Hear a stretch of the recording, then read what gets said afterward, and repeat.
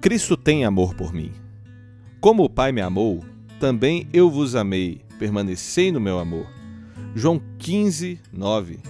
O grande teólogo suíço, Dr. Calbart, talvez tenha sido o maior teólogo do mundo em sua geração, assim como o notável filósofo.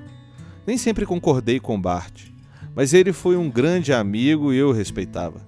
Certa vez, quando ele estava nos Estados Unidos, durante uma aula no seminário, um aluno lhe perguntou: Dr. Bart, qual é a maior verdade que sempre vem à sua mente? Todos os seminaristas se inclinaram em suas carteiras para ouvir uma extraordinária, profunda, sábia e complicada resposta.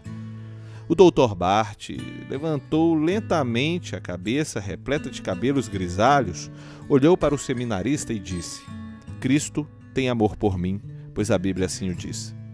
Senhor Jesus, que eu possa guardar em todo o tempo o conhecimento sobre o teu amor em verdadeira simplicidade.